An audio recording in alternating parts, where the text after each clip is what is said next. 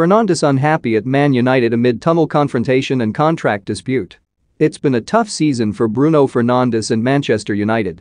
Last season, the Portugal international was very much the star turn in Ole Gunnar Solskjaer's improving Red Devils side.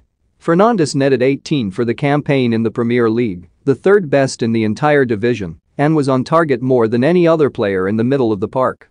But for one reason or another things just haven't been the same this season.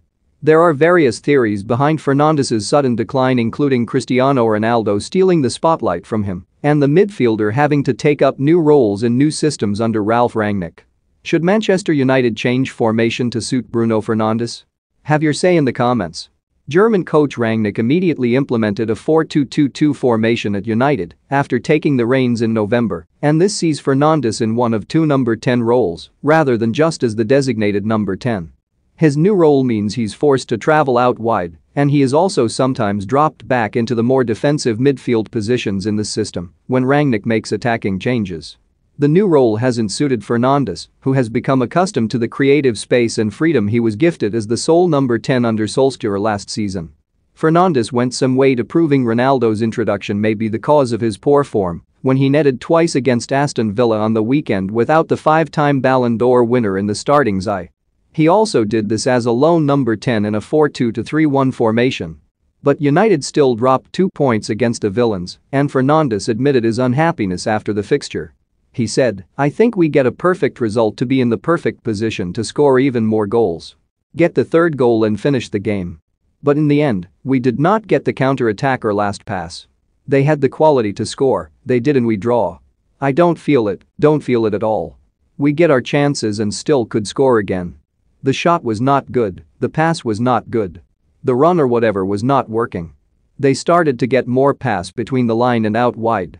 When you give them that space with the quality they have, they will hurt you. I think the performance was better than the result for sure. Probably more controlled. We controlled the game better than before. We deserve more. But, the game is about deserving it's about points. Unlucky for us. But, still, a lot to improve on, even if the performance was good. I'm not happy at all. Everyone is happy to score goals, but I prefer to win.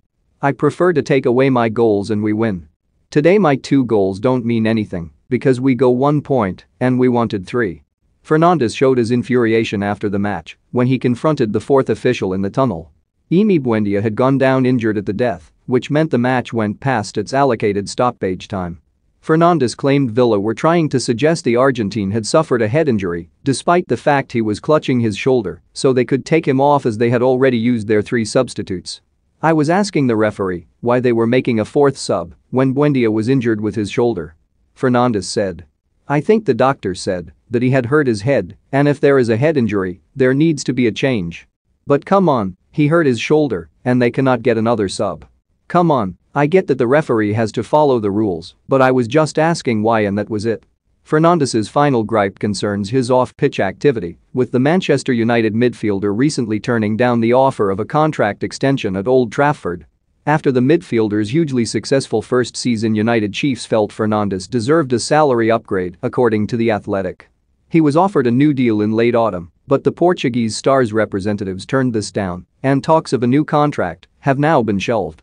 Fernandes saw his £50,000 a week salary at Sporting Lisbon double when he signed for Man United, but his wages do not compare to those of Ronaldo and co.